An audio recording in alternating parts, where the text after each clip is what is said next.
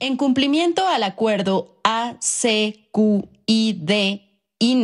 221, diagonal 2023, de conformidad con lo dispuesto en el artículo 134 de la Constitución Política de los Estados Unidos Mexicanos, la propaganda, bajo cualquier modalidad de comunicación social que difundan como tales los poderes públicos, los órganos autónomos, las dependencias y entidades de la administración pública y cualquier otro ente de los tres órdenes de gobierno, deberá tener carácter institucional y fines informativos, educativos o de orientación social. Las personas servidoras públicas tienen en todo tiempo la obligación de aplicar con imparcialidad los recursos públicos que están bajo su responsabilidad, sin influir en la equidad de la competencia entre los partidos políticos.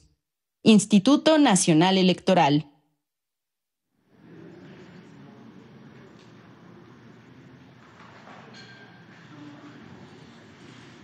Buenos días. Ánimo, ánimo.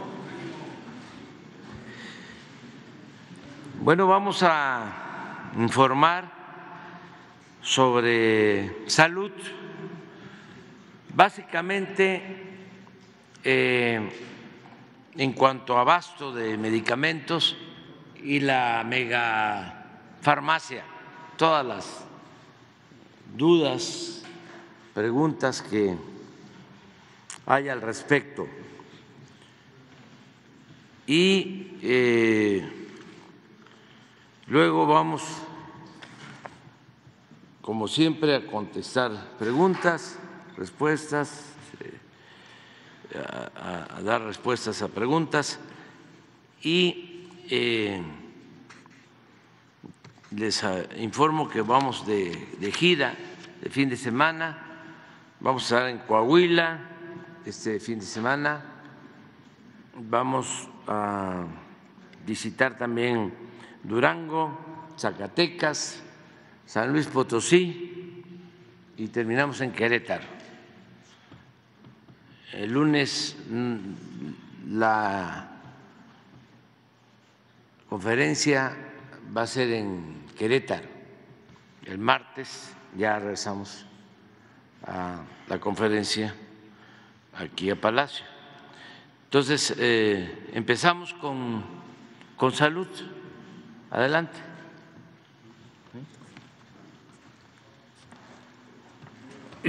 Con su permiso, señor presidente, muy buenos días a todas y todos ustedes. Eh, para hoy, como ya informó, eh, señaló el, señor presidente, eh, vamos a, exponer el tema de los medicamentos de Birmex como ente consolidador y de la mega farmacia para aclarar las dudas que se están generando en un proceso que tiene que ser eh, de, tiempo. Lo expondrán el general Loman y el maestro Zoé Robledo. Y en un segundo tema, si está de acuerdo el presidente, sería la hemodinamia en forma breve que expondría yo. Muchas gracias.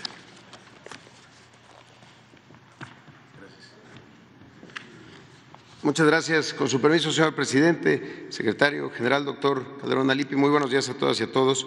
Eh, ¿Se nos pueden poner la presentación? Eh, cada año en nuestro país el sector salud, las instituciones públicas del sector salud invierten cerca de 100 mil billones de pesos para la adquisición de medicamentos. En los gobiernos anteriores se hablaba mucho de la consolidación que hacía el Seguro Social, es decir, que juntaban las necesidades de varias instituciones, del IMSS, del ISTE, de los gobiernos de los estados, que eran financiados por el Seguro Popular, y hacían una compra. Esa, esa compra eh, tenía una serie de problemas, había una enorme simulación sobre lo que significaba. En realidad compraban juntas, pero compraban eh, diferentes tipos de medicamentos para los mismos padecimientos, cuando la población pues debe de recibir el mismo tratamiento independientemente de si se atiende en el IMSS, en el ISTE o ahora en el IMSS eh, Bienestar. Lo que sí generó esa, esa compra fue una enorme concentración en pocos proveedores que al final eh, tampoco eran laboratorios, eran principalmente empresas eh, distribuidoras. En ese sentido, si lo vemos aquí, de 2012 eh, en todo el periodo del 12 al 18, solo 10 empresas concentraron el 79.6% del gasto de medicamentos del país, casi el 80% en solo 10 empresas de distribución, un total de 241 mil millones de pesos en 10 empresas. De esas tres empresas, solo tres concentraron la mitad de todos los contratos. Una sola, el Grupo Fármacos Especializados SADCB, se llevó el 35% de la compra de todo este periodo con un monto de 106 mil millones de pesos en una sola empresa en estas compras eh, del sexenio pasado. Al concentrar esta compra en pocos proveedores, las empresas, los propios laboratorios eh, que producen las medicinas dejaron de participar. Solo para darles un dato, en 2018, 85% de las claves de medicamentos, de los tipos de medicamentos que se, que se compran, recibieron solamente entre una o dos propuestas. Es decir, el mercado se, cerró y eso ponía en condiciones eh, de desventaja al, al gobierno. Al cierre del 2018, el gasto de bolsillo en México era el segundo más alto de los 36 países de la OCDE. Ahora, si vemos la, compra que se hizo, tanto del proceso de compra bianual, porque se compró para 2023 y 2024 todos los, los medicamentos, eh, en la siguiente, gracias. Eh, ahí se modificó completamente la forma como se compra los, eh, a, la hora de incorporar a los servicios estatales de salud que ya estaban pasando al IMSS eh, Bienestar. La participación de, los laboratorios fue mucho mayor, llegaron a participar 334 empresas y el resultado fue la mayor compra que se haya hecho en la historia de nuestro país, un total de 196 millones de pesos para adquirir 3.817 millones de piezas de medicamentos. Eh, además, las 10 empresas, los 10 laboratorios que, ganaron, eh, pues que son estos, como lo pueden ver, son laboratorios, incluido eh, Reactivos y Biológicos de México, Birmex, Gilead, Roche, Pfizer, Astra, Seneca y demás. Entonces se logró no solamente romper ese casi monopolio que se tenía en los distribuidores, ahora comprándole directamente a los laboratorios. En la siguiente, eh, ahora, de todo lo que se, que se compró, de todos los, los medicamentos que se, se, adquirieron, eh, estamos llevando a cabo algunas acciones para lograr el 100% de las recetas eh, surtidas. exigir, desde luego, que, los proveedores cumplan siempre, se han estado fortaleciendo las sanciones a, quienes son proveedores incumplidos. Y la otra cuestión importantísima, el IMSS Bienestar en 23 estados, ahora es eh, quien homologa eh, los medicamentos que se van a adquirir. Pasaba a veces que algún estado, para las personas sin seguridad social, pedía cierto tipo de medicamentos y un Estado eh, podía pedir otro tipo de medicamentos. Ahora todo se homologa con el IMSS eh, Bienestar. Y la otra es que a partir del 22 de diciembre del año pasado, Birmex es la empresa que planea las, las siguientes compras, las siguientes adquisiciones que se tuvieran que hacer, eh, las consolida, es quien además almacena y justamente con las capacidades que tiene la megafarmacia, además de las posibilidades de compensar entre instituciones cuando una no tiene para poderla entregar en otra institución, pero también distribuye. Y esto es muy importante. Ya la distribución en manos de, eh, un organismo del gobierno, del Estado mexicano, pues nos va a garantizar la distribución incluso hasta la última milla, es decir, eh, hasta la última unidad médica rural en algún lugar apartado, pues ahí va a estar eh, Birmex. Esto ya ocurre desde octubre del año pasado, que Birmex se ha convertido en el único distribuidor del sector público, eh, tanto en el IMSS, en el ISTE y ahora también en el IMSS eh, Bienestar. en, ese, en ese sentido, también ha sido importante que se utilice un solo sistema para la administración de los insumos. Se tenían cerca de 40 distintos sistemas, había incluso sistemas de salud de los estados que entre hospitales no manejaban el mismo sistema o que lo hacían todo de manera manual. Esto nos va a ayudar también muchísimo para poder ir eh, eh, teniendo un control y trazabilidad del medicamento, desde que se compra hasta que se le entrega al paciente en la, en la farmacia. Y desde luego un elemento adicional, contar con la megafarmacia como un sistema de, almacenamiento, distribución y también de centro de atención, como ahora lo va a explicar el general Loman. Finalmente, en la siguiente. Eh, sobre este tema del abasto de, medicamentos, ¿qué es lo que hemos estado analizando? Se tienen que tener, se compraron todas las piezas, todas las claves, ahora tenemos que tener todos los, volúmenes y es en lo que tenemos que concentrarnos en, lo, que, en lo que sigue. En ese, en ese sentido, la llegada de IMSS Bienestar cambia por completo el sistema como antes no solo se compraban, sino se distribuían y ahora se recetan los medicamentos. Eh, la siguiente es la, parte que le corresponde al general eh, Pedro Loma. Muchas gracias, presidente.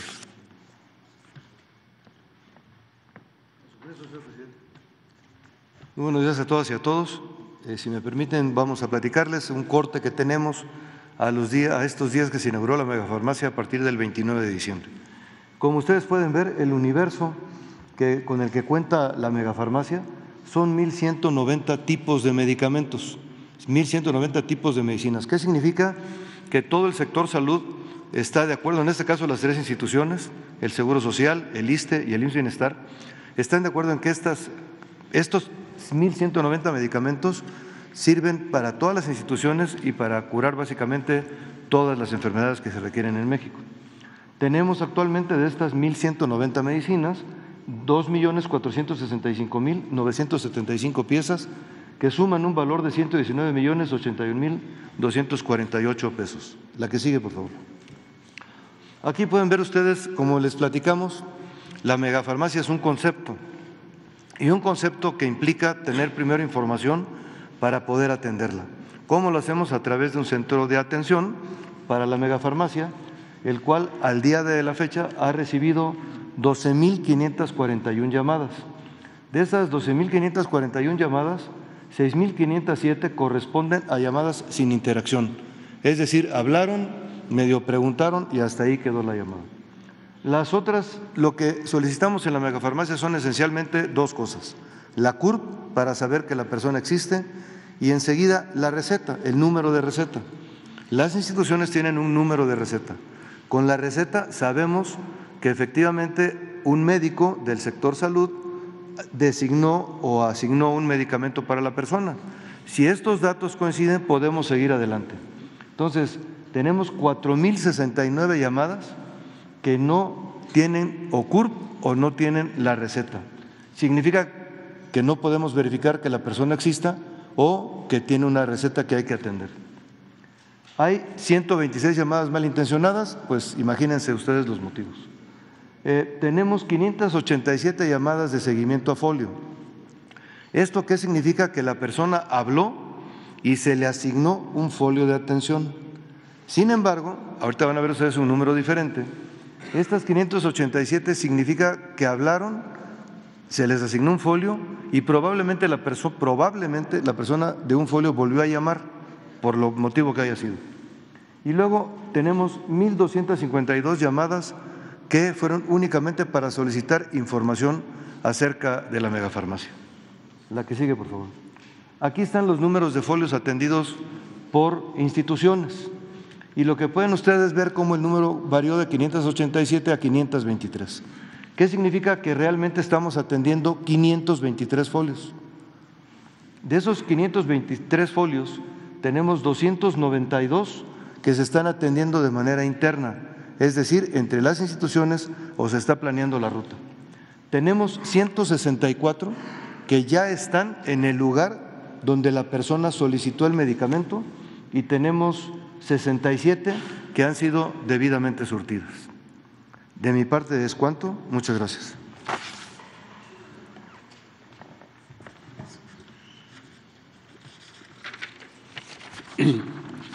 Con su permiso, señor presidente, eh, la primer lámina, si son tan amables, de acuerdo, de acuerdo a su encargo en el mes de junio del 2023, señor presidente, hoy le informo que las 32 entidades estatales cuentan al menos con una sala de hemodinamia.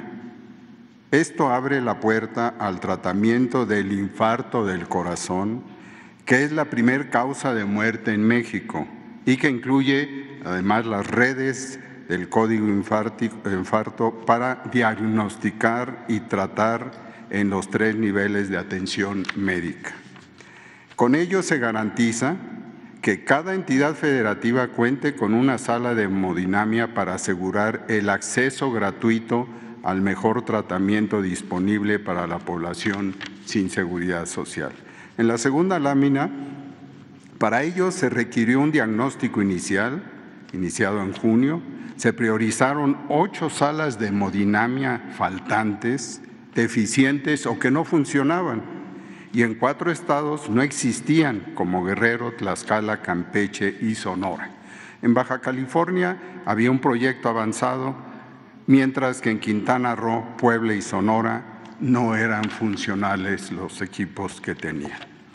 En la siguiente lámina eh, pueden apreciar que mediante una inversión federal en obra y equipamiento, para las ocho salas de hemodinamia, que fue de 487 millones de pesos, eh, eh, se logró el tener, contar con una sala de hemodinamia en el Hospital General de Mexicali, en el Instituto Estatal de Cancerología de Colima, en el Hospital General de Acapulco y en el de Sonora, en el Hospital de Especialidades de Campeche, en el Hospital General Sur de Puebla, en el Hospital General de Cancún y en el Centro de Atención Especializada en Salud y Bienestar de Tlaxcala. Para ello, como ustedes saben, fue necesaria la contratación de personal profesional especializado que fue capacitado previamente.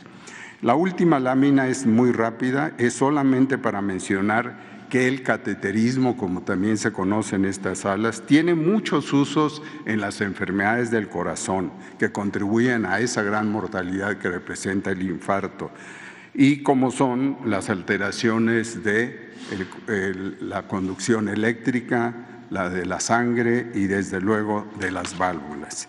Agradezco a la doctora Yasmín Laborí, coordinadora de este proyecto, así como al subsecretario Juan Antonio Ferrer y al doctor Gaspar, director del Instituto Nacional de Cardiología, por el apoyo recibido. Muchas gracias.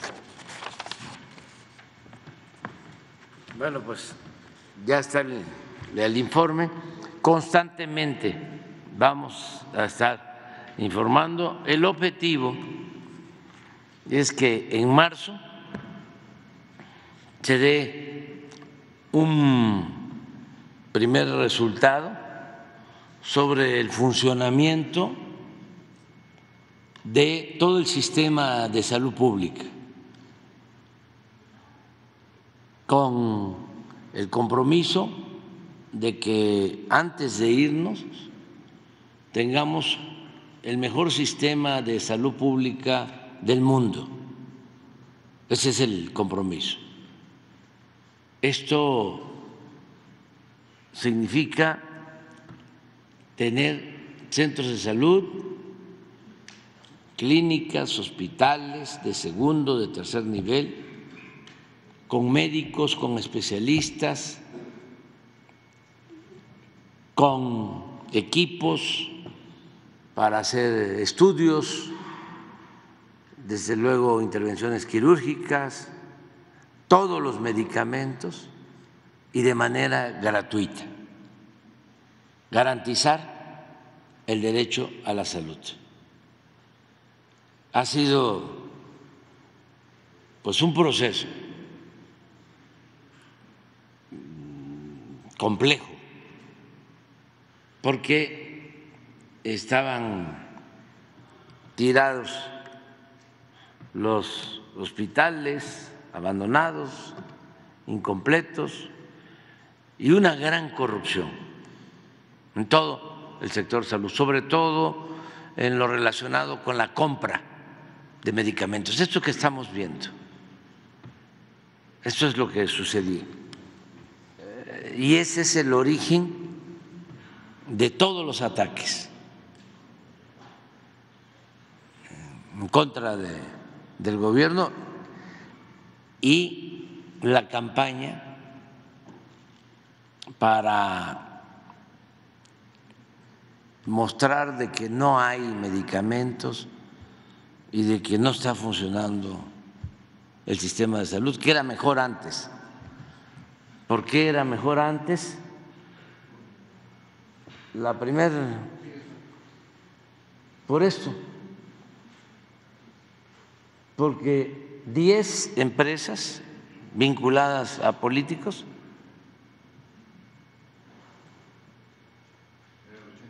vendían el 80% de todo lo que compraba el gobierno.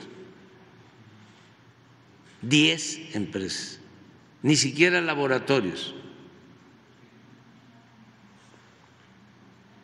303 mil millones de pesos.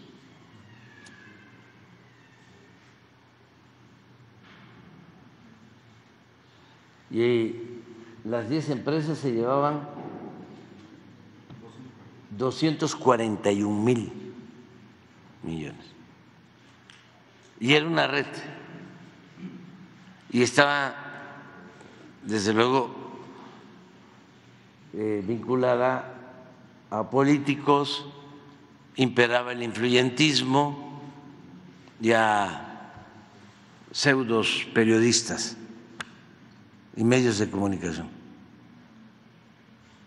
Y nos ha costado mucho,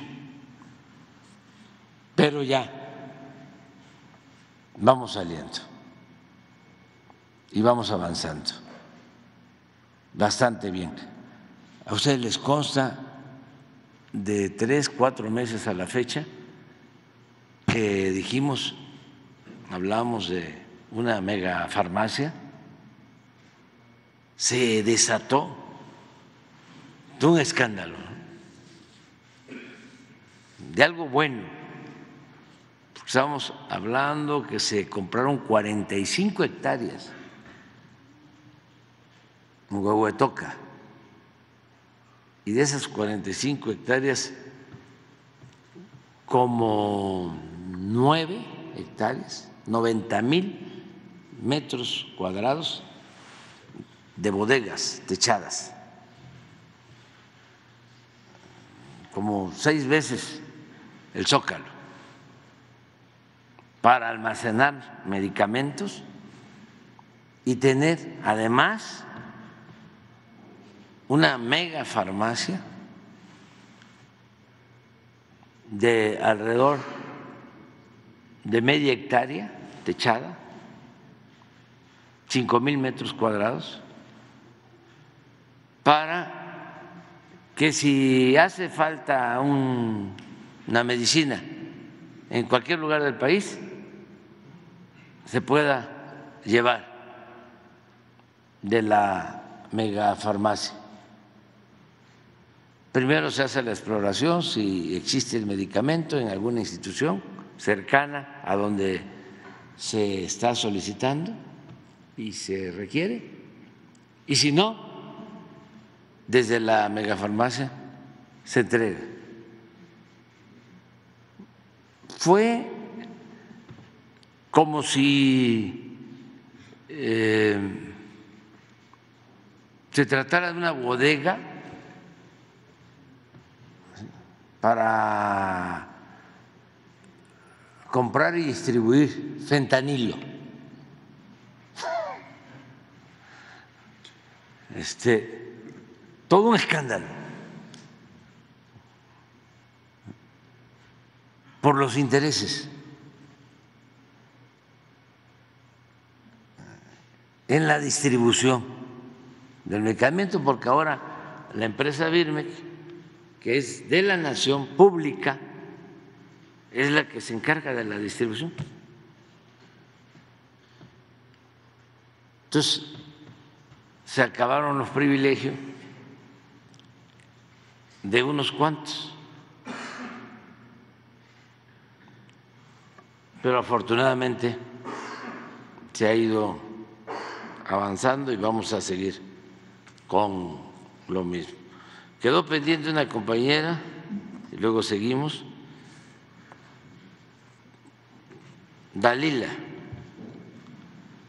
Gracias, Buenos días, Dalila Escobar de Proceso. Eh, quisiera preguntarle con los anuncios que ha dado en estos últimos días en torno a una de las iniciativas que eh, presentará el próximo 5 de febrero, la que está relacionada con la desaparición de los organismos autónomos. Quisiera preguntarle si en efecto serán todos, porque por ejemplo, entre algunos de estos autónomos, y que no se ha mencionado, pero que tal vez pudiera estar incluido en el planteamiento que usted tiene, está por ejemplo la CNDH. En primera instancia, eh, preguntarle si en efecto serán todos los organismos que usted planteará enviar en esta iniciativa.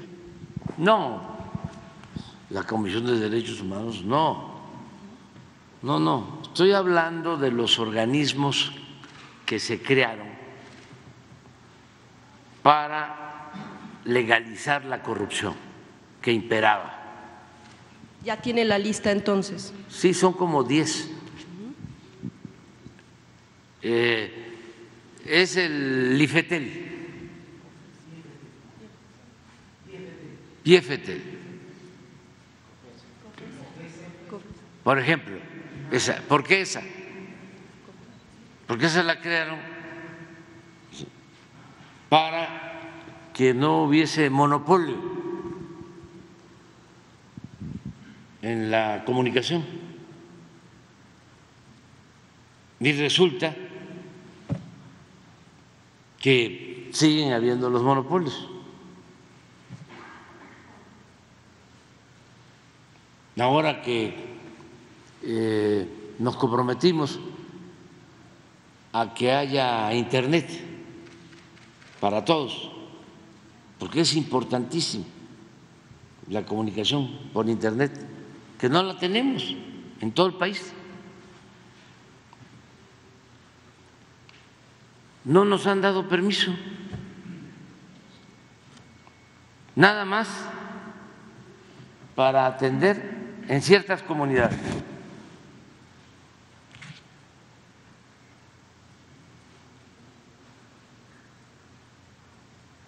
No podemos nosotros este, dar el servicio de Internet en la Ciudad de México.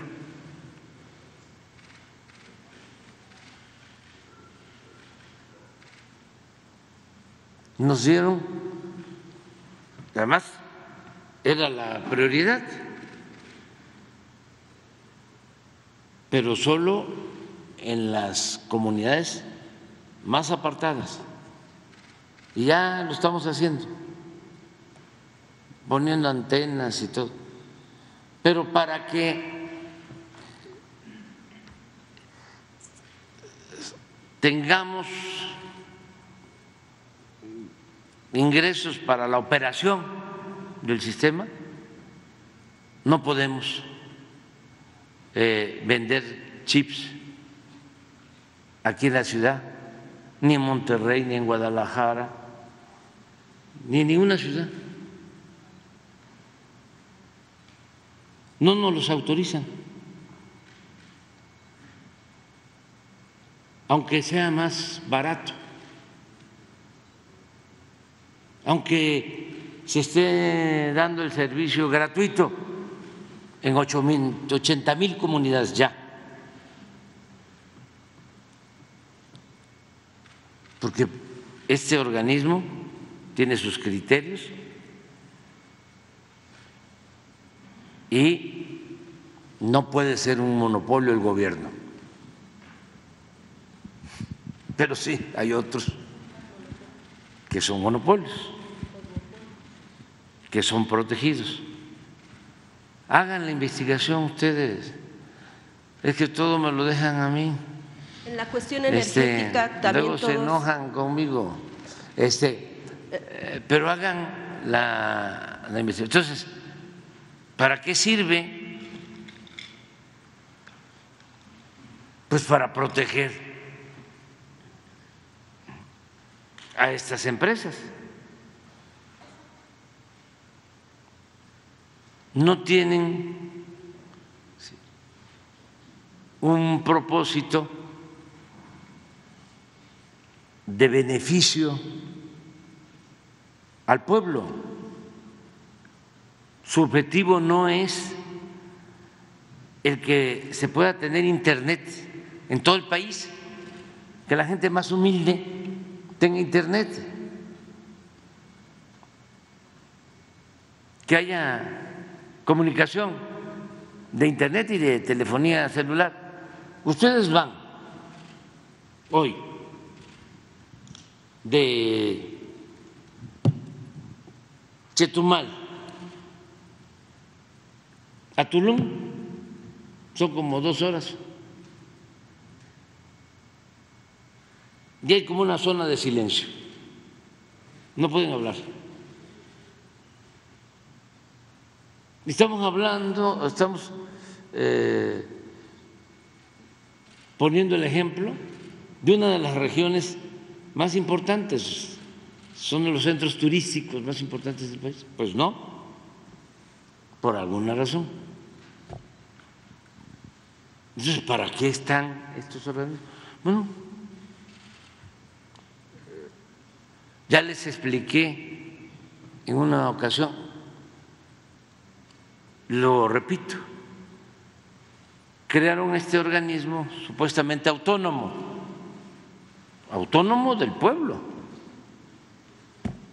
autónomo del gobierno, no autónomo de las empresas particulares. Resulta que eh, yo tengo que proponer de una lista de 10 a uno de los integrantes del Consejo cada vez que falta uno. Hacen la selección, me presentan una lista en una ocasión no conozco a nadie, eh, yo no lo puedo proponer, el presidente no puede proponer, no puede. Nada más es de los que eligen en otra parte. Yo tengo que decir quién entonces me presenta el consejero jurídico la lista, 10. Este, pues a quién proponemos. Y ya sabían ellos a quién quería cada grupo de estos que dominan las comunicaciones. No, pues estos no, porque ya es mucho descaro, ¿no? Que vayan de empleados. Además que se les pague del dinero del presupuesto, que es dinero del pueblo, no para servir al pueblo, sino para ser empleados de las empresas particulares. Entonces sucedió algo muy curioso. Eh, ¿Por qué? Ah, porque estos días les hacen examen creo que interviene del Banco de México, de la UNAM o del Colmex, de la transparencia, de todos, y hacen un examen.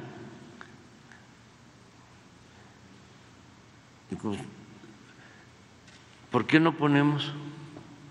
No conozco a ninguno, a nadie a ver, el que sacó mejor calificación.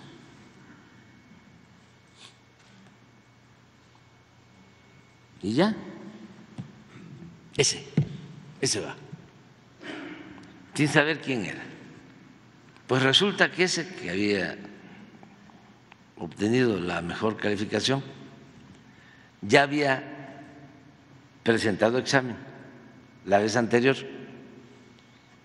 y había sacado también primer lugar y no había salido.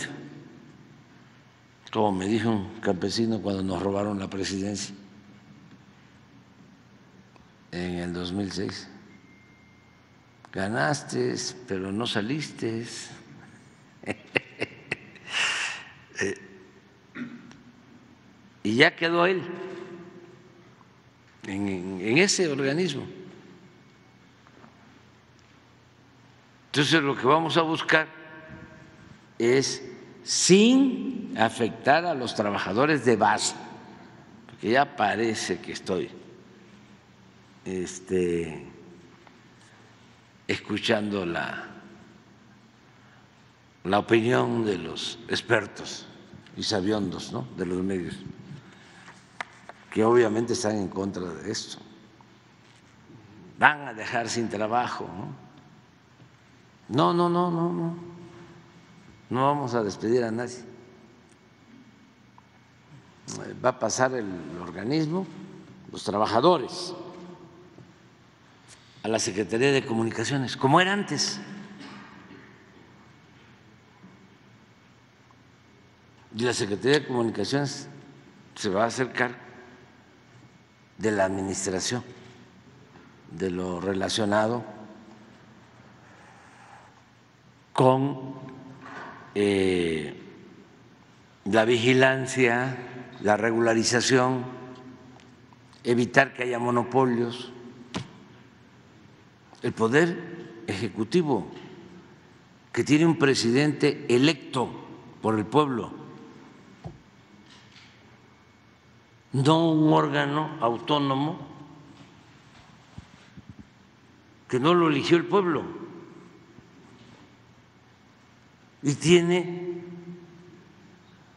el mismo o más poder, en este caso en particular, que el presidente.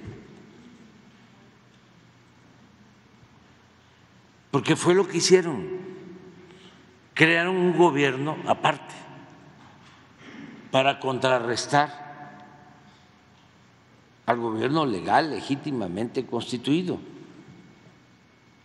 y proteger los intereses de los dueños de México, o los que se sentían dueños de México, de la oligarquía, porque ni modo que estos organismos, ya puse el ejemplo, estén pensando en el pueblo. Si estuviesen pensando en el pueblo, estarían ayudándonos en la iniciativa de que tengan todos los mexicanos el derecho al Internet. Lo que pagan los mexicanos hoy por el Internet es de lo más caro del mundo. Por esto, por la creación de estos organismos para proteger intereses. Es interesante. Bueno, ¿cuál otro organismo? Transparencia. Ay, presidente, ¿qué mecanismo de transparencia se le dejaría a la ciudadanía para que pues, puedan tener acceso? ¿No se estaría pensando en todo caso mejor en evaluar el presupuesto que se le da al INAI para que no sea esta gran cantidad que usted ha mencionado, los millones de pesos, pero que continúe el INAI? Porque muchas de las investigaciones que se han hecho en todos sentidos, pues se han obtenido gracias a las solicitudes de información, incluso cuando son negadas, pues dan, aportan mucho en torno a, si pudieran estar protegiendo lo puede hacer la Secretaría de la Función Pública, lo puede hacer en el Poder Legislativo, la Auditoría Superior de la Federación, lo puede hacer la Fiscalía General de la República. Pues presentar una solicitud, requiero que me informen. Además, ya hay la obligación de transparentar todos los asuntos públicos, ingresos de los servidores públicos, bienes de los servidores públicos, todo. Ya en iniciativa vamos a proponer dónde y cómo. No es ocultar nada.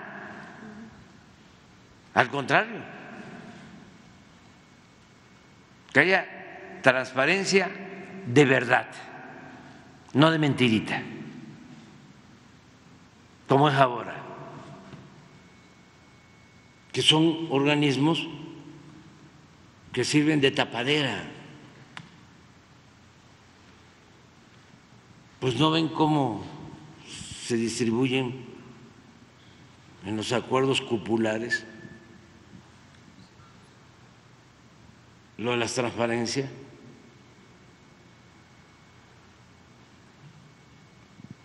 Pero eh, es cuestión histórica, es, a ver, ¿cómo surge? ¿Quién la promovió? Pues ellos mismos, los potentados. Esto surge del periódico Reforma. ¿Y qué es el periódico Reforma? ¿A quién protege? Esas salinas de Gortari, a los traficantes de influencia del país. Entonces es el colmo, la paradoja, la contradicción, que ellos sean los que manejen la transparencia. Cuando con Salinas se modificó el Código Penal para que no se considerara delito grave la corrupción, pero al mismo tiempo se impulsa la creación del Instituto de la Transparencia. Y desde que nace con Fox, lo primero que hacen es reservar la lista de los que no pagaban impuestos de las grandes corporaciones. Y así una tras otra. Reservan el expediente de Odebrecht en los escándalos de corrupción, cuando Felipe Calderón y Peña Nieto. La transparencia ocultando información.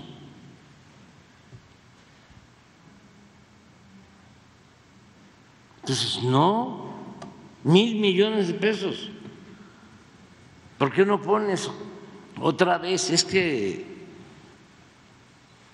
ya lo he dicho muchas veces, eh, la diferencia de un escritor que no debe de repetirse, un dirigente que busca la transformación, tiene que hacer labor de politización, de concientización, y tiene que repetir y repetir y repetir. Porque hay veces pues que no se cuenta con la información y tenemos que repetir para que nadie se quede sin tener todos los elementos. Además, ¿cómo contrarrestamos todo el bombardeo de mentiras. ¿Cómo enfrentamos a los medios de manipulación al servicio de los potentados en México, de los que se sentían los dueños del país? Pues ni modo, como disco rayado. Repite, repite, repite. Y hay unos que dicen, ya, ya me aburrió. ¿Que no puede decir otra cosa? Claro que puedo. Aquí podemos hablar de, filosofía, de sociología, de política, de economía, de historia, de antropología, de lo que sea. Pero esto es lo que me interesa. Porque no le estoy hablando a los de la cúpula, también a ellos. para que nos politicemos todos, pero estoy hablando fundamentalmente a los ciudadanos, que esos son mis amos, esos son los que me pusieron aquí. Pon nada más, es, un asunto de sentido común. Crearon el Instituto de la Transparencia. Puedes poner la, la araña, el organigrama de la transparencia. Todo esto es dinero del presupuesto,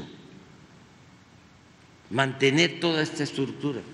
Es el colmo que se mantenga esta estructura para simular, porque muy contrario a lo que tú sostienes, y yo respeto, yo creo que no han hecho nada, al contrario, nada en beneficio del pueblo, al contrario, han ayudado a simular de que en México se combatía la corrupción, se avanzaba mucho con la transparencia, porque todo esto va acompañado de un marco de referencia, no quiero decir marco de referencia teórico, porque no lo es, que inventaron con las llamadas nuevas políticas públicas. En pleno saqueo, en el mundo, en plena imposición del modelo neoliberal, necesitaban crear nuevas políticas públicas. Y es cuando surge la política antimonopolios con la privatización y es cuando surge la transparencia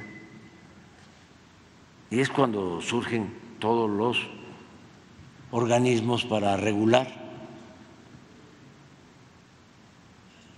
supuestamente acciones públicas. No, era para regular e impedir el crecimiento de los gobiernos de eh, las instituciones públicas y darle paso franco, abierto a las empresas particulares. Es lo de mi ley ahora, con todo respeto al presidente de Argentina. No es nada nuevo. Es vamos a desaparecer al Estado, que se diluye el Estado, vamos a dejar todo al mercado. Pues eso ya lo padecimos, ya con Salinas lo empezaron a aplicar y sus voceros intelectuales orgánicos hablaban de diluir el Estado, de dejar todo al mercado.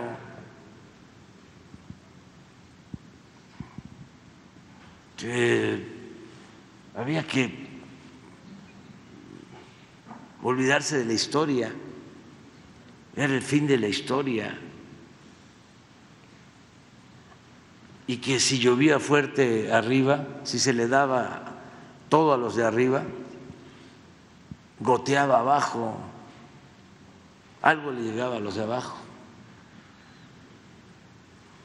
Y muchas otras mentiras, esto de que no aumenten los salarios porque va a haber inflación. El problema fiscal es que los ambulantes los viene, viene, no pagan impuestos. Ese es el problema.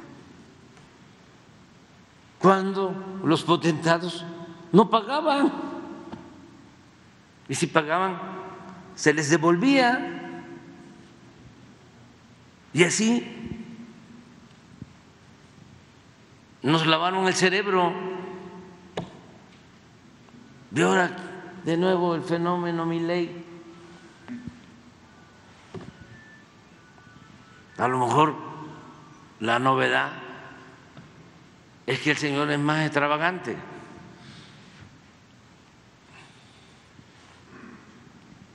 Pero el planteamiento es el mismo.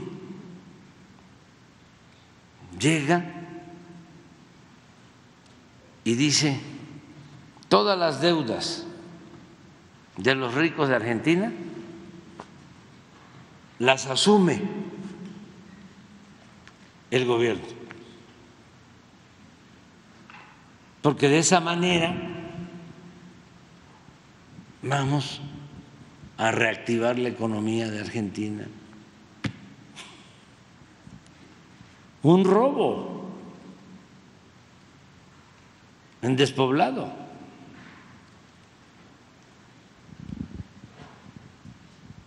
Pero eso ya lo padecimos aquí, cómo saquearon al país. Pero miren esto. A ver los que nos están viendo. ¿Cuántos han asistido a este instituto de la transparencia? ¿Cuántos han asistido a esta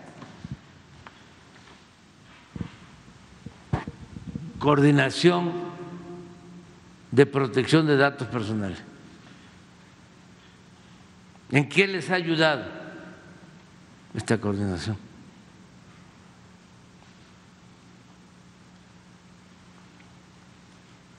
¿Qué nos cuesta? Porque tiene, estos son funcionarios que ganan de 100 a 120 aquí. 100 mil. Más. 25 direcciones generales.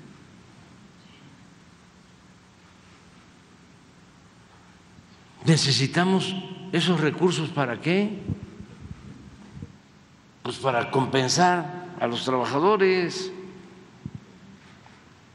que fueron dañados por la reforma neoliberal de Cedillo,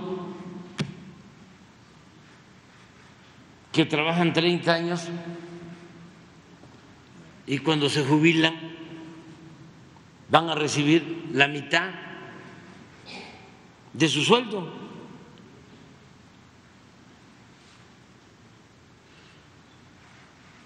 Entonces, ¿cómo reparamos ese daño?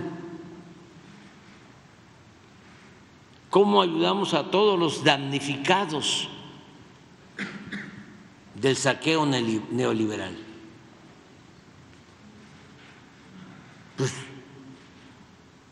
vamos a hacer una revisión de qué funciona, qué no funciona.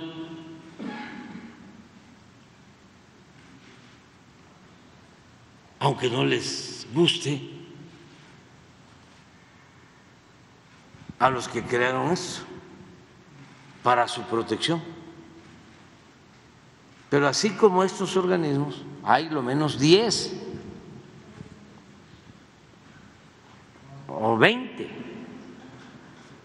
Entonces, pero si me dices, vas a desaparecer todos, todos, no, Presidente, en total, ¿cuántos ha contabilizado el gobierno que hay y que pudieran quedarse, obviamente, por eh, razones eh, que son necesarias para la población, como decíamos, derechos humanos? Lo que tiene que ver, por ejemplo, con protección al ambiente, hay, hay algunos que todavía se salven. Por ejemplo, ¿para qué es la Secretaría de Medio Ambiente? ¿Por qué vamos a tener, aparte de la Secretaría de Medio Ambiente, dos, tres organismos más. Tenemos con agua, pero hay el instituto, el instituto del agua.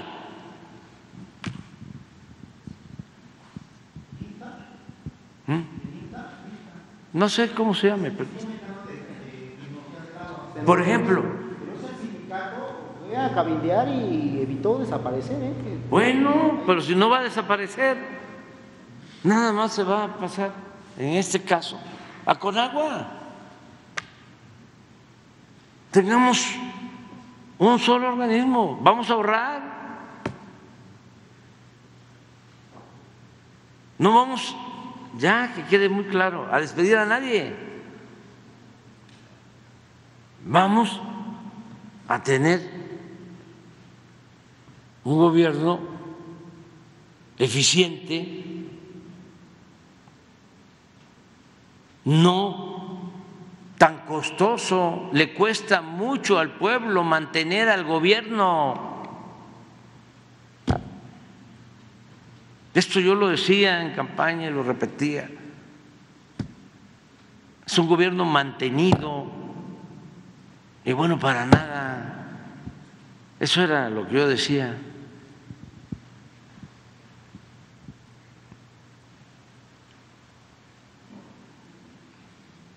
Y no puede haber gobierno rico con pueblo pobre.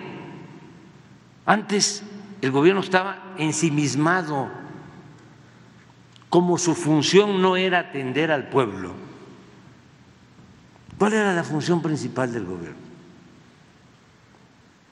ser un facilitador del saqueo, ayudar para que saquearan a México. Esa era la función principal. Era un comité, el gobierno, al servicio de una minoría rapaz. Entonces, para lograr eso, tenían todos estos aparatos. ¿Qué hacían con estos aparatos? Simulaban. Ya no hay corrupción. Ya todo es transparente. Y además los cooptaban de esa manera como decía Porfirio Díaz, los maiciaban. Por eso crearon toda esa estructura. Entonces, vamos a procurar, cuando llegamos, habían oficinas para promover a México en todas las ciudades del mundo. Se llamaban ProMéxico. ¿Y para qué son las embajadas? ¿O los consulados? Ah, pero es estas oficinas de economía en Nueva York, en París, en Londres. ¿Quiénes trabajaban ahí? Puro recomendado de influyentes. ¿Cuánto nos costaba? Todavía estamos terminando de finiquitar estas oficinas. Bueno, el Estado Mayor Presidencial, ocho mil elementos para cuidar al presidente. Normal, se veía normal. Con aviones, helicópteros, equipos de lo más sofisticado, sin la obligación de rendir informes. Nada más, a ver si te manda Laurita eh, lo que costaba la presidencia, incluyendo el Estado Mayor, gastos del Estado Mayor, y lo que cuesta ahora.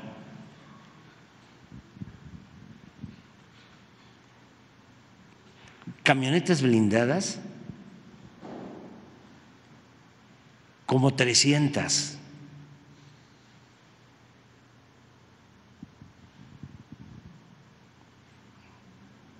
Bueno, las casas de descanso, en todos lados, en Cancún, en Acapulco, en Cozumel, en todas partes. Pues todo eso ya ha ido desapareciendo y todo eso ha ayudado pues a tener recursos para atender a los pobres. Entonces, ahora que necesitamos reparar este daño que causaron con las pensiones, necesitamos un fondo. Entonces, a ver, ¿cómo le hacemos? ¿De dónde sale? Porque va a salir. ¿Qué decían antes? No? Ni modo, hay que apretarse el cinturón. Y ellos no se apretaban el cinturón, era el pueblo. Ahora es el gobierno el que se tiene que apretar primero el cinturón.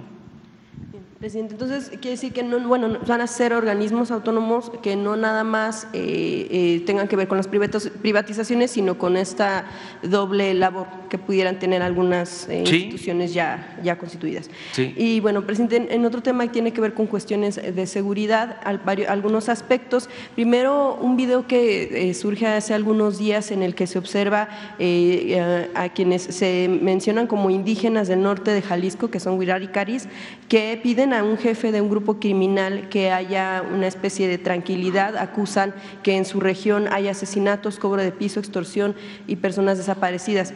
Preguntarle, presidente, eh, ¿qué, han analizado en torno a, la existencia de este video? ¿Qué hay en torno a lo que denuncian estas personas? Y también la situación que pudieran estar viviendo como para ser llamados a, jefes, a quienes incluso los llaman comandantes supremos de algún cártel y eh, que piden como regalo de Año Nuevo que se elimine al criminal contrario. ¿Qué es lo que han analizado? ¿Qué es lo que encuentran? ¿Y cómo está esta situación? Pues se está atendiendo, vamos avanzando. Eh, antes, porque eso se dejó el abandono, empezando porque no existía el pueblo para los corruptos, no existía tampoco existían los jóvenes. Acuérdense cómo les llamaban ninis de manera despectiva, ni estudian ni trabajan, y nunca, nunca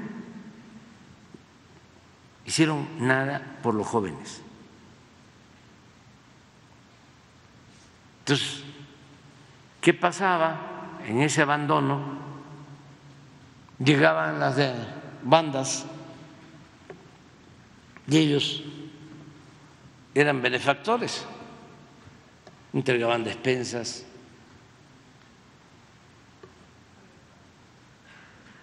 mm, regalos, juguetes en días de reyes.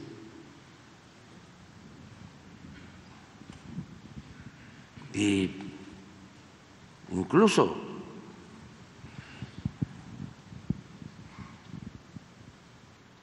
dominaban. Todavía sucede eso. Sí, en menor medida, porque esa práctica se arraigó muchísimo.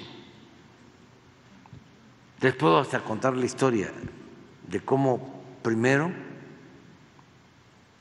eh, daban dinero para que los candidatos ganaran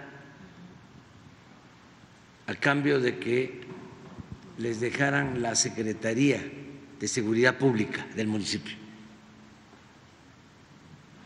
Luego le subieron no solo la Secretaría de Seguridad Pública, sino obras. Ya luego directo presidente, puesto por ellos. No se podía inscribir otro.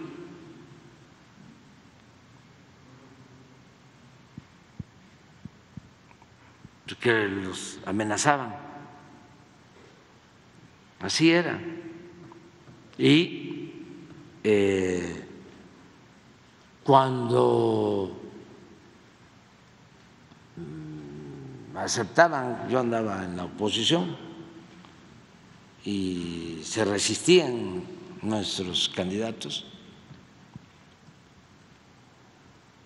eh, ganaban, pero había fraude. Íbamos a convencer a nuestros candidatos de que se presentaran las denuncias por el fraude. La mayoría no quería, en algunas regiones, por la amenaza. Y ya los imponía. Y eso se, se dejó. Bueno, Estamos hablando de abajo, ¿no? Pero imagínense arriba. García Luna, el secretario de Seguridad, ¿cómo estaba el país? ¿Dónde inició? No lo voy a dejar de decir. García Luna. En el CISEN, el sistema de espionaje de Carlos Salinas de Gortari. Ahí impusieron a Salinas a finales de 1988 y en 1989 entró García Luna al CISEN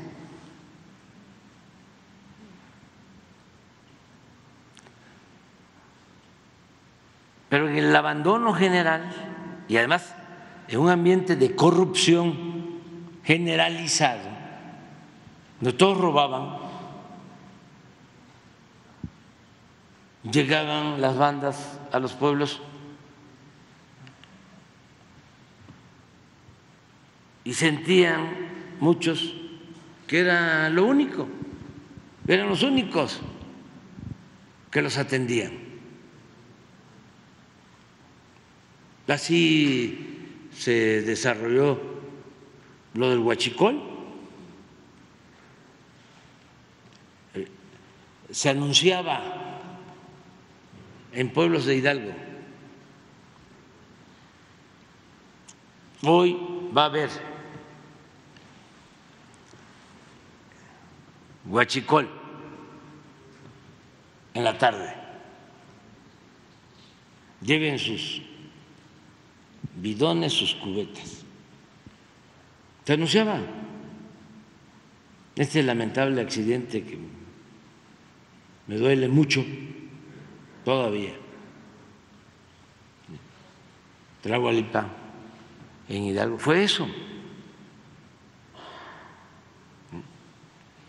Este, abrían zanjas como albercas,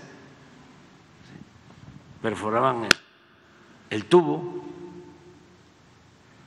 y salía la gasolina y a recoger en bidones la gasolina. Y, con un efecto, porque la gasolina trae sustancias que estimulan y que hacen perder la, la tranquilidad, la serenidad, son estimulantes. Por eso algunos drogadictos que se este, que inhalan son eh, combustibles. Entonces, de repente el, bombazo ahí, las chispas, por lo que sea, en la alberca esa. Entonces, llevaban las pipas ellos y dejaban que la gente se llevara bidones. Este hombre me ayudó muchísimo, este, porque vivimos momentos muy difíciles, muy duros. Ahí aprende uno cosas. Está uno pensando de que las quemaduras por fuera son las graves, no, son las internas. Muy doloroso, muy terrible. Bueno, todavía sigue sucediendo en algunos lugares en donde siguen llevando despensas. Por eso no dejo de hablar. No hay un hogar pobre que no reciba un apoyo en este gobierno.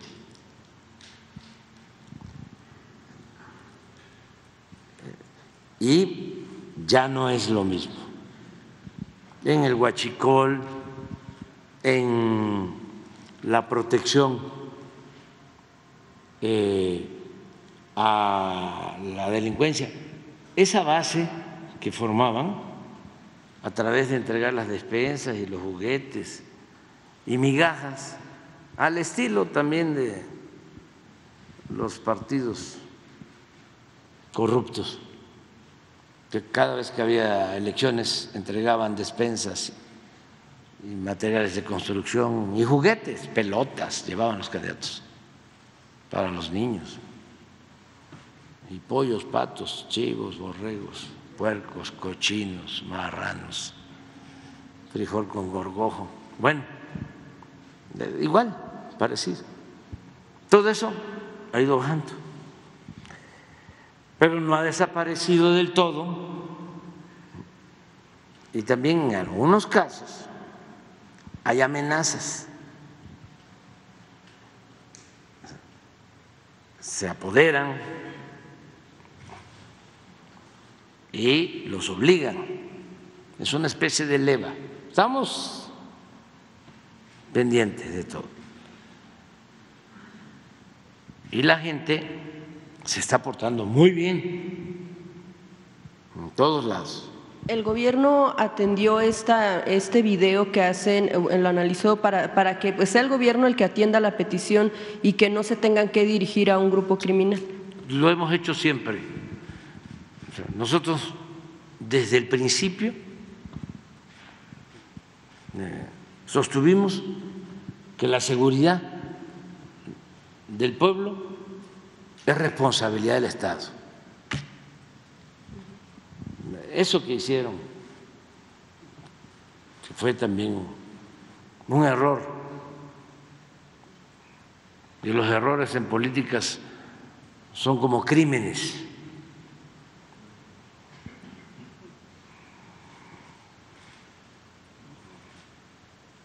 no fue un error ir a declarar la guerra sin tener elementos a Pachingán cuando inició Calderón, garrafal, pegarle un palazo a lo tonto al avispero y lo que ocasionó. Entonces, desde el principio dijimos, es el Estado. No queremos que el pueblo se arme. Las autodefensas, no. Ese sistema lo aplicaron en Colombia. Incluso de allá trajeron hasta un general para ese propósito. Y nosotros nos opusimos siempre estando en oposición y más en el gobierno. Entonces, cada vez que hay un llamado así, ahí estamos, y estamos en todos lados. Por ejemplo, lo que sucede en Chiapas también, presidente, que los pobladores han acusado, incluso, bueno, se eh, eh, vieron algunos videos en los que se hablaba pues de una confrontación que pudieran tener algunos de los pobladores con elementos del ejército, porque lo que ellos mencionaban es que el ejército va y se mete a las comunidades que están en resistencia, pero que no van, por ejemplo, al tema de atender en dónde están eh, reteniendo los grupos criminales, por ejemplo, las carreteras, algunas que tienen bloqueadas. Lo que ellos mencionan es que, bueno, pues en algunas otras comunidades donde no eh, pudieron resistir se están desplazando, algunos están eh, pues saliendo de sus regiones de Socoltenango, por ejemplo, Chicomucelo, La Concordia, que se están yendo, están buscando incluso en qué moverse, en lanchas para poder eh, cruzar algunas regiones e irse a otras comunidades.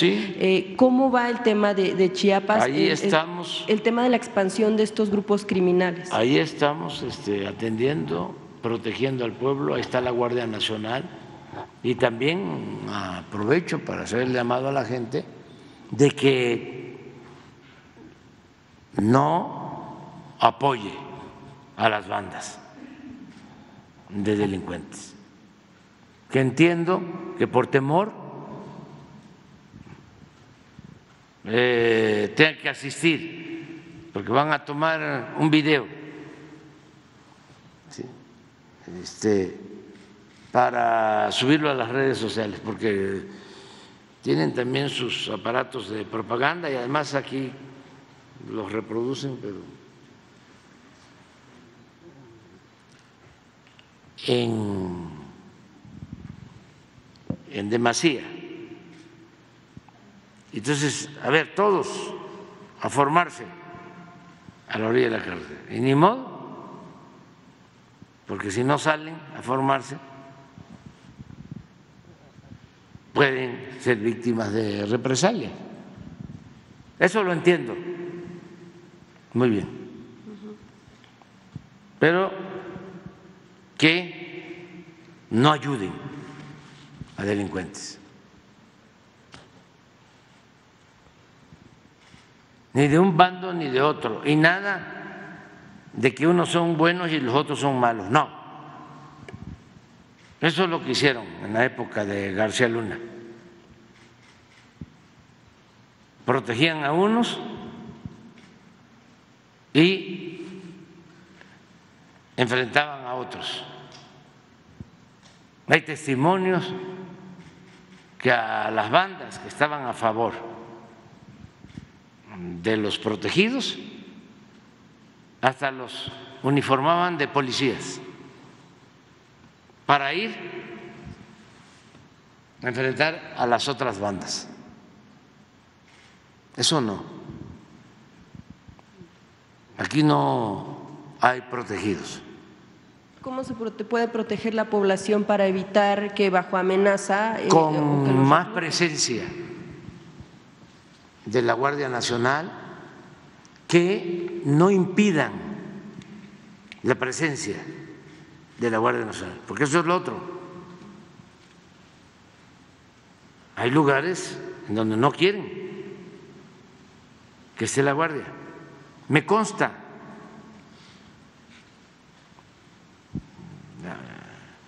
Sitios en donde no se podía conseguir un terreno para instalar una un cuartel Ahumada, por ejemplo, lo tengo aquí, Chihuahua. Qué gente tan buena la de Ahumada. La carretera de Chihuahua a Juárez.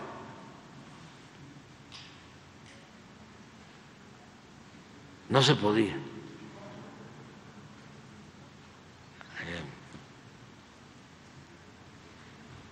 Ahumada era un gobernador de Chihuahua, del porfiriato, aunque por eso se llama estación Ahumada, aunque no era de Chihuahua, era de Jalisco,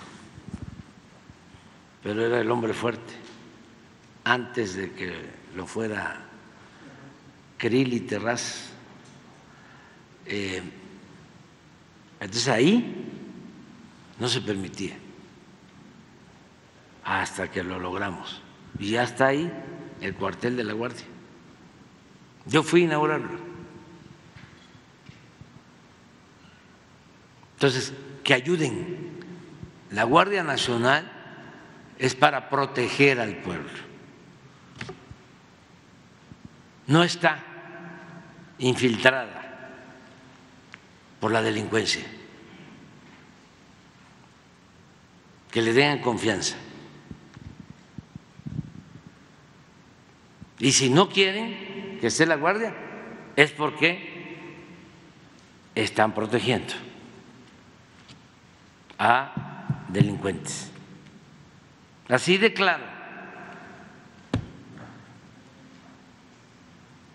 Y que entiendo que pueden estar siendo presionados. Y como se establece en la Biblia. No hay que ser temerarios, pero que estén conscientes que cuando puedan, que no corran riesgo, no se metan. Que no eh, necesitan a estos grupos.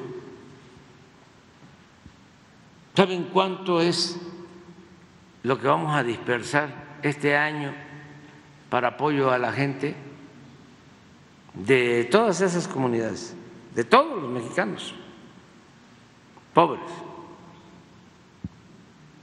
Y no necesariamente pobres, a todos los mexicanos. 800 mil millones de pesos. Eso nunca había sucedido. Alrededor de 30 millones de familias que están recibiendo, aunque sea una porción pequeña del presupuesto público, que es dinero del pueblo. 30 millones. Les pongo el ejemplo de los jóvenes. En cinco sexenios del periodo neoliberal les dedicaron a los jóvenes 7 mil millones de pesos. Ahora, en cinco años, solo un programa, no las becas, que es otro tanto, solo el programa Jóvenes Construyendo el Futuro, 110 mil millones de pesos. Es otra cosa. Presidente, llamaría entonces a los pobladores a que no salgan de sus comunidades. ¿A los qué? A los pobladores, a la gente de Chiapas que no salgan de sus comunidades, que no se desplacen, que se queden donde están y que permitan y que permitan que la Guardia sí, Nacional. Que, que los proteja la Guardia.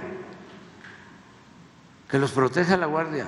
Y esa es la instrucción que tienen y están en todos lados.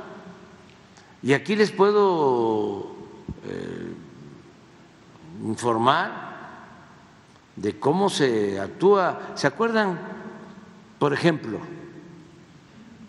de los secuestrados de Morelos en los límites con, con Guerrero? Pues ya aparecieron afortunadamente todos.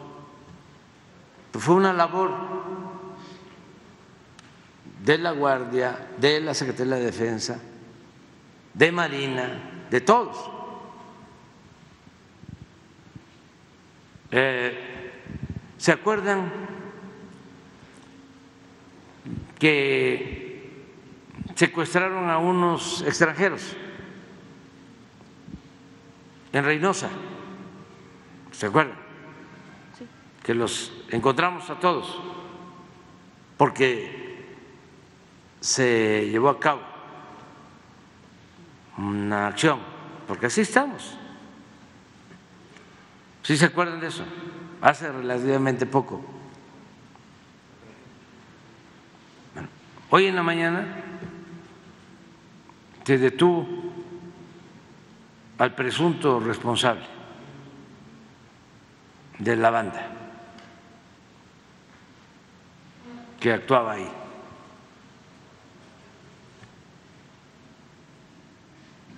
O sea, no hay impunidad. De hecho, hay el reporte ahora también de una mujer buscadora, eh, Lorenza Cano, de la que no se ha sabido qué sucedió. Bueno, hubo un grupo armado, mató a su esposo, a su hijo, ella buscaba a su hermano y ahora ya está desaparecida. Sí, sí, sí. La están buscando. Eh, siguen habiendo casos, pero estamos. Y a ella la están buscando ahora porque todavía no se sabe de, no han eh, tratado el tema. No tengo el informe, por eso no te puedo contestar así, pero todos los días estamos protegiendo al pueblo. Gracias, y no hay impunidad para nadie. Es que antes no había frontera, no estaba pintada la raya, no se sabía quiénes eran delincuentes y quiénes eran autoridad. Eran lo mismo. Esto eh, que parece una obviedad, lo digo porque se olvida.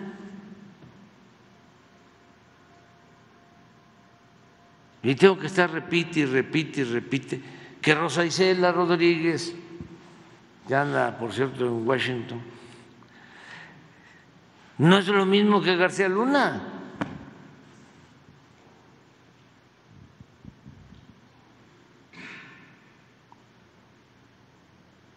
Porque también, ¿no? Los conservadores fanáticos, para no dar su brazo a torcer, ya el último recurso es, todos son iguales. No, primo hermano, lo que diga mi dedito. No, no somos iguales. Justo, presidente, para terminar el tema de Ayotzinapa, la respuesta que dan madres, padres, después de que usted mencionaba que eh, pues no habría, no hay más información que tenga que dar el ejército, lo que ellos eh, dicen y las descalificaciones que han ellos también destacado, lo que mencionan en una respuesta que le dan pues directamente es que ellos lo que perciben es que el gobierno trata de dividirlos, de dividir a, los familiares que están en búsqueda todavía de los normalistas desaparecidos, que incluso eh, lo que ellos dicen es que justo eso también quiso hacer el, gobierno anterior en torno a tenerlos divididos para evitar dar una respuesta como tal y, de, y que incluso eh, acusaron que algunos funcionarios han ido a Chilpancingo a buscar a un grupo de padres con los que no están muy de acuerdo porque incluso los señalan como que fueron quienes marcharon a favor de la liberación de José Luis Abarca. Ellos piden una reunión directa con usted, si la, cuándo la van a tener, porque bueno, pues eh, mencionan que fue el propio gobierno quien eh, dinamitó de alguna manera las reuniones de la COBAG entonces, si usted está al mando de la investigación, eh, solicitaré en la reunión directa si pudiera ser cuándo sería y pues la respuesta al tema de la percepción que tienen de buscar dividirlos.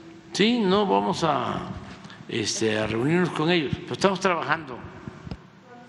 Este, yo voy a, este, a invitarlos cuando tengamos eh, más información.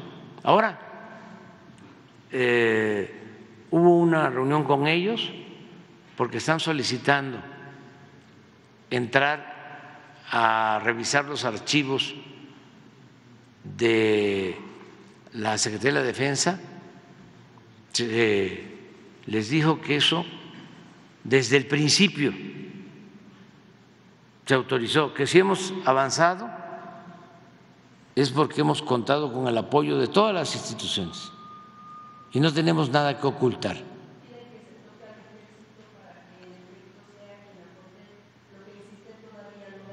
Todo este, lo que quieran, ya eh, les volví a informar de que primero les eh, propuse que eh, visitaran con sus especialistas y abogados los archivos y que este, indagaran y pidieran todo lo que este, necesitaran. Me dijeron que un mes no era suficiente. Les dije dos. No. Ahora les mandé a decir tres. Y también porque van a estar abiertos todo el tiempo, pero ¿por qué quiero que sean tres? Porque no quiero que se siga pasando el tiempo, yo ya me falta poco, yo quiero entregar buenos resultados. Y ahí hay gente que no me da confianza. No son los padres. Hay gente de las supuestas organizaciones no gubernamentales, pseudo defensores de derechos humanos, que tienen intereses políticos. que son del bloque conservador, que tienen no solo ligas con el conservadurismo en México, que está en contra de nosotros por el sistema, que además está muy bien, o sea, porque somos libres. y no vamos a censurar a nadie, nada más es ejercer el derecho de réplica, informar, informar, informar, porque tenemos esa obligación, garantizar el derecho a la información al pueblo. Pero también estos grupos tienen vínculos con organizaciones internacionales y con gobiernos extranjeros. Y eso nos da desconfianza.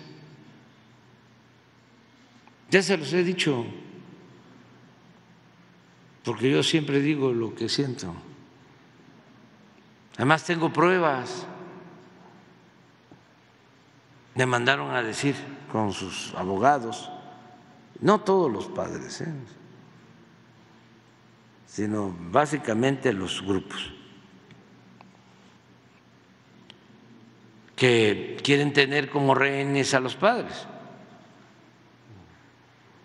que yo voy a seguir recibiendo a estos grupos, pero también quiero tener una relación directa con los padres. Y lo impiden. Eso de, de iguala que dices. Resulta que pues son todos los padres ¿no? de los jóvenes desaparecidos pero hay al interior una división que se fue formando por distintas razones, como suele pasar con todas las organizaciones. De desaparecidos, hay divisiones en las organizaciones, en las organizaciones sociales, en todos lados. Entonces, nosotros tenemos la obligación de informar a todos,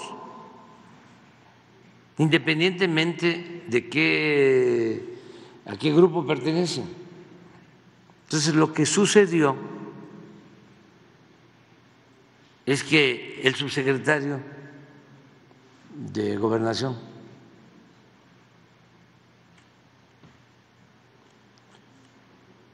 invitó a todos personalmente y tienen un acuerdo en donde la invitación se tiene que hacer a los abogados.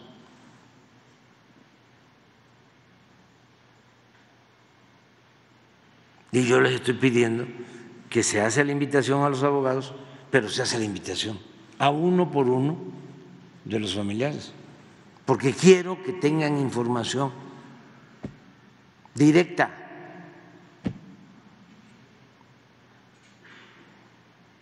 Quiero que conozcan cosas que no saben, que no conocen, no porque no quieran, sino porque se han ocultado cosas, como la sentencia que permitió la libertad de los que habían participado en la desaparición de los jóvenes. Y esa fue una sentencia promovida por defensores supuestos de derechos humanos. La sentencia esta que le da la libertad detienen en un primer momento a responsables, detienen a un número determinado de presuntos responsables. Unos sí, otros no. Entonces los detienen. Luego se promueve por un organismo de derechos humanos, a la vez defensor de los padres de los muchachos.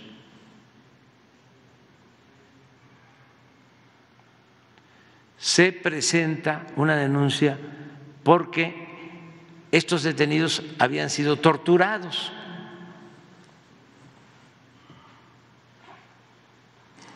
Sale una sentencia y dejan en libertad,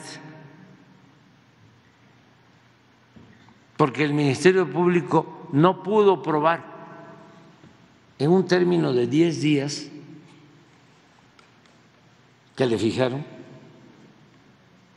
de que no habían sido torturados con el protocolo de Estambul. Y como no lo pudo probar, liberan a todos, como a 80. Sí, como 20 primero y luego 60. Ahora que me estoy metiendo uh, a ver el caso, junto con el apoyo de la secretaria de Gobernación, la secretaria de Seguridad Pública, con todos, porque nos importa mucho. Lo que más nos importa es encontrar a los jóvenes. Pero empiezo a ver cómo llevaron a cabo la investigación, qué hicieron. Ah, cuando sale esta resolución, la celebran los defensores de derechos humanos. Sí, sí, sí, para lo que sea, pero dejaron en libertad a responsables. Y eso lo puedo probar. ¿Y por qué lo puedo probar? Porque a esos que liberaron y que habían declarado que los habían torturado, esos que liberaron, luego son testigos protegidos y confiesan que sí habían participado.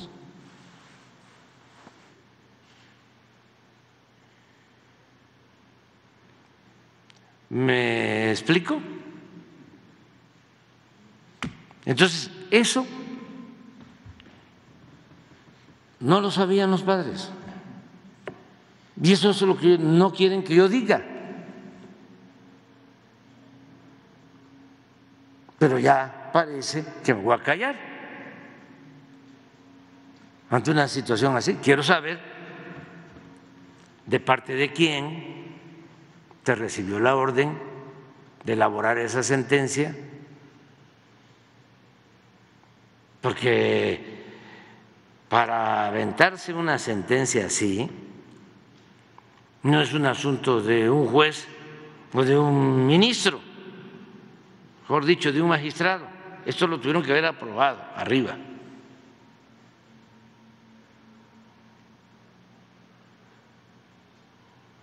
La Corte. ¿Quién dio la instrucción y por qué? ¿Y por qué la prisa de los 10 días?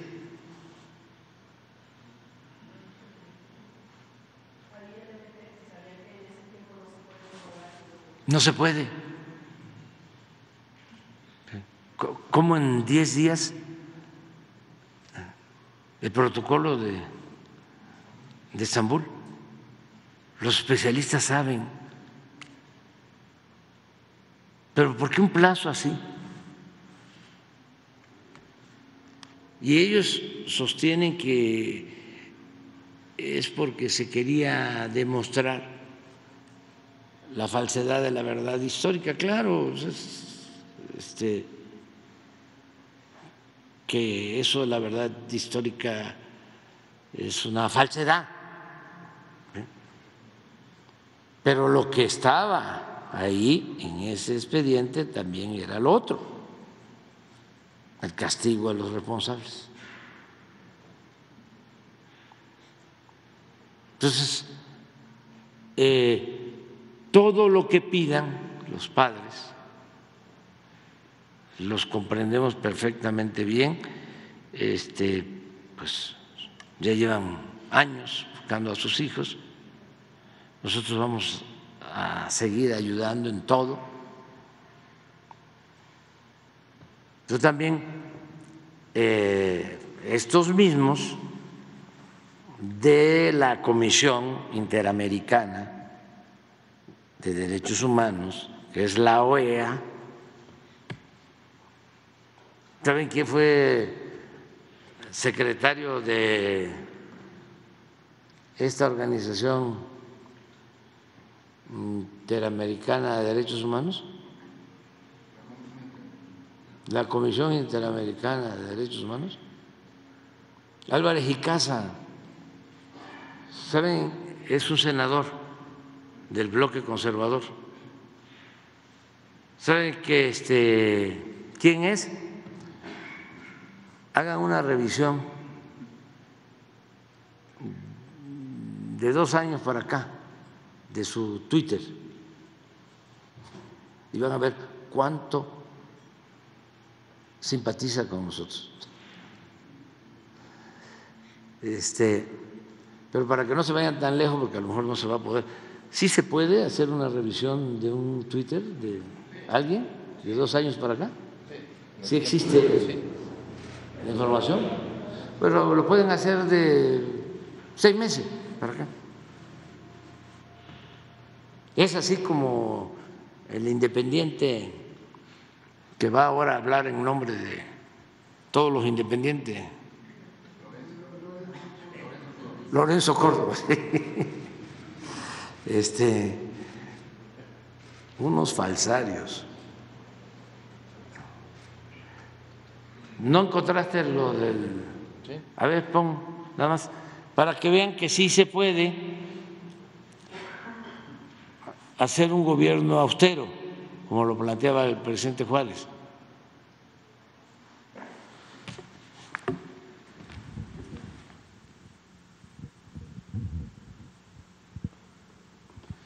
Esto es lo autorizado en el 18 para la presidencia. Mil setecientos noventa y siete millones. Terminaron ejerciendo tres mil seiscientos ochenta y uno. Esto era bastante, bastante común, porque ustedes revisan las cuentas, ahí se los dejo de tarea, además no tienen que investigar mucho. Eh, hay una página en donde se puede ver lo de los presupuestos. Así era eh, en gobernación también. Autorizaban una cantidad y terminaban ejerciendo el doble. Sobre todo, vean en gobernación lo que eh, iba a seguridad pública. Doble o triple terminaban ejerciendo. Y mucho de ese presupuesto no estaba sujeto a comprobación, porque se le consideraba de seguridad nacional.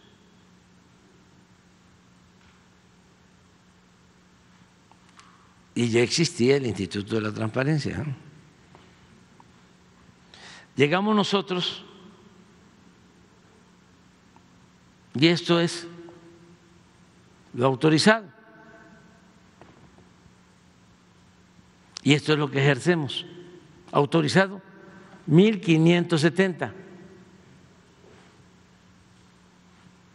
Y ejercemos 721.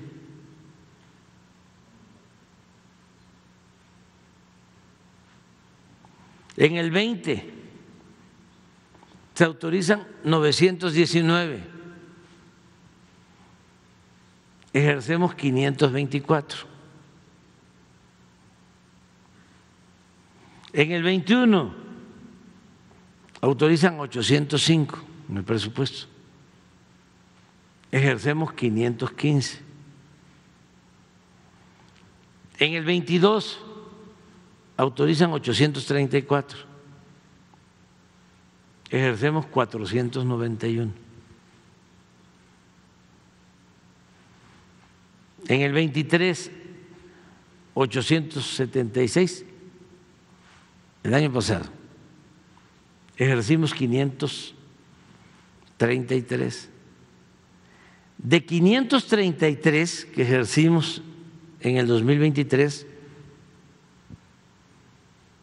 a 3.681. ¿Cuánto es el ahorro?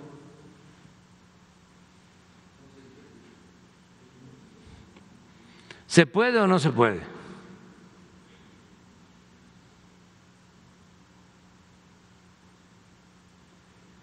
Es que era un exceso. El gobierno estaba ensimismado. Todo el presupuesto se quedaba en el gobierno. Entonces, ahora es lo indispensable y todo lo demás para la gente.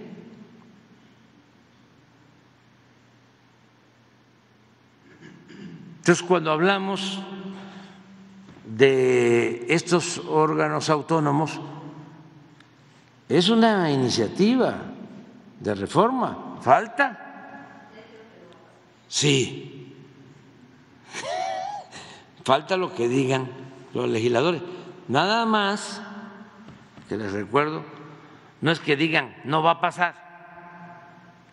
Eso es lo que dicen los del bloque conservador. Pero eso es esta legislatura. ¿Quién sabe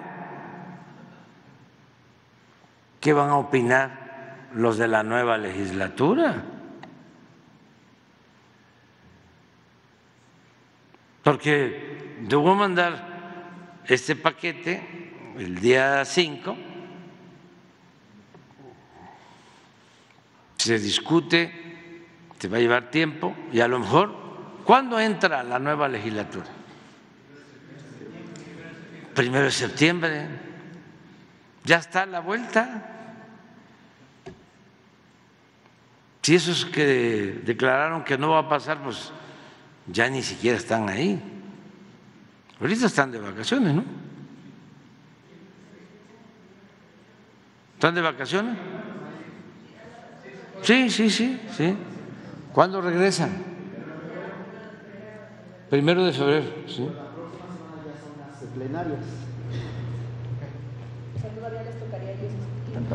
Sí, pero ya les falta muy poco. De todas maneras, a lo mejor algunas sí les gustan, ¿no? Y si no, otras, este, pueden esperar a ver qué va a decir el pueblo, que es el que manda en las elecciones.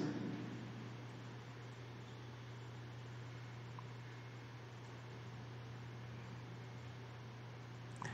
Ya vámonos ya. De la final de la Liga del Pacífico. Un poquito de béisbol. De béisbol, presidente. Tenis. Ya vámonos, es que po- po- ¿A quién le va a los naranjeros o a los, o a los venados? ¿Quieres quedar en la del Pacífico?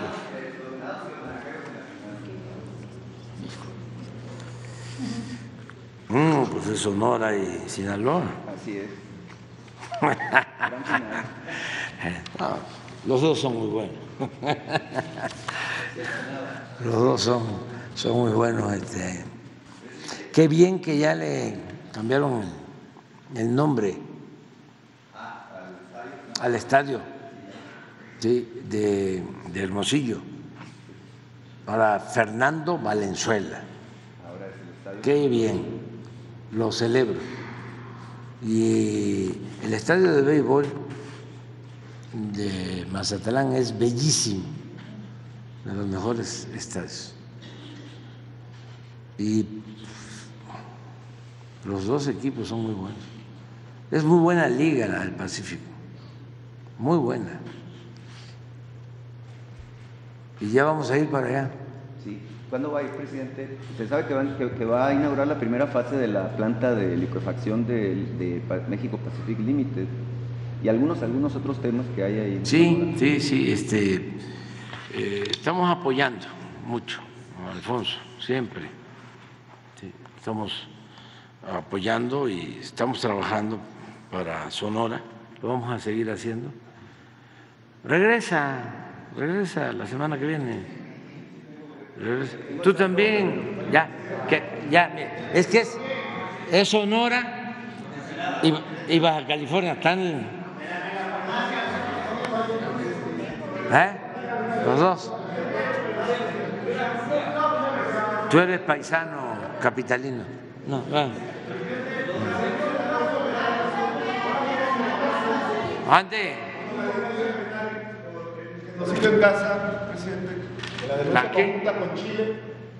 Lo de la, es que ayer sacó la Cancillería un, un comunicado sobre que le está pidiendo a la Corte Inter- Internacional de la Haya sobre eh, que se investigue el probable genocidio que está ocurriendo en Sí, nosotros lo que queremos es la paz. Vamos a estar por la paz. No tomamos partido eh, por ninguna de las eh, partes, aunque suene redundante. eh, ni por Israel ni por los palestinos, este grupo jamás, no, no tenemos nosotros. Lo que no queremos es que inocentes pierdan la vida.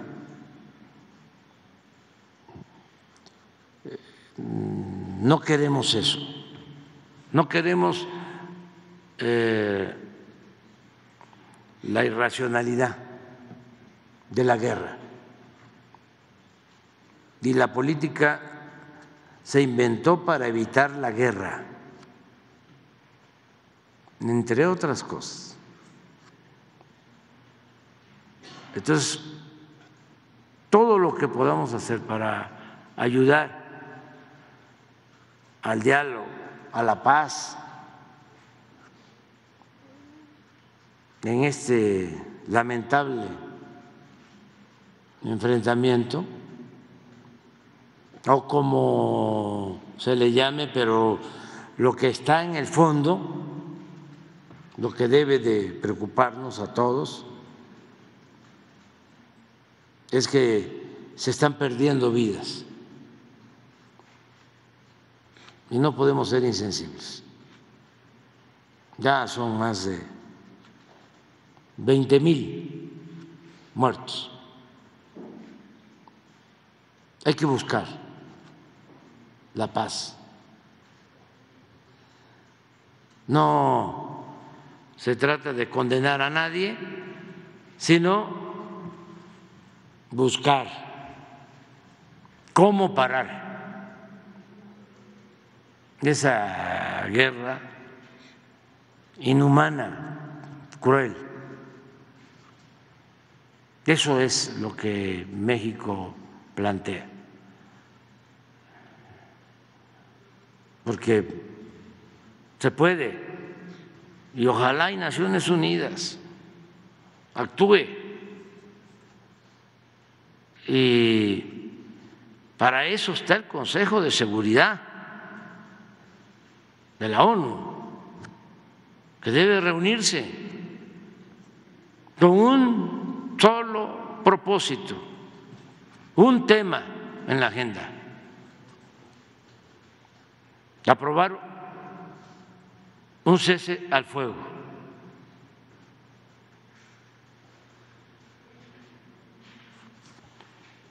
Aún cuando se trate de una tregua, pero que se declare un cese al fuego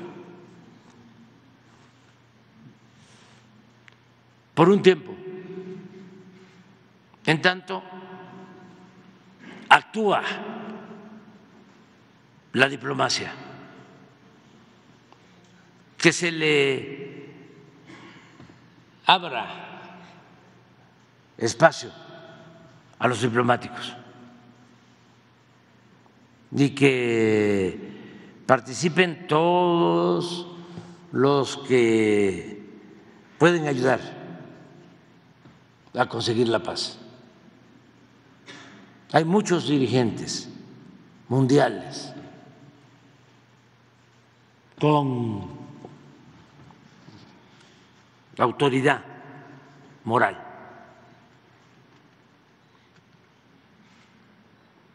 Verdaderos humanistas,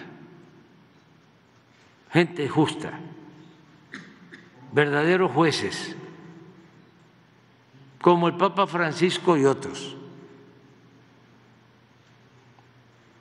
Pero lo primero es que el Consejo de Seguridad de la ONU detenga la guerra, declare el cese a las hostilidades, el cese a los bombardeos, el cese al fuego. Esa es mi postura y que se pongan los miembros del Consejo de Seguridad de la ONU, sobre todo los que tienen derecho a veto, los cinco, que se pongan a la altura de las circunstancias y que demuestren que por encima de todo esté el respeto a los derechos humanos, que demuestren con hechos Ya basta de discursos, de palabras, de demagogia.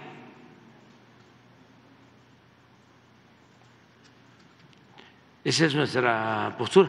No he leído el comunicado de comunicación, digo, de la Secretaría de Relaciones, pero le tengo mucha confianza a los diplomáticos mexicanos, mucha, mucha, mucha confianza a los diplomáticos mexicanos y desde luego a la secretaria Alicia Barça. No sé si va en este sentido que acabo de exponer.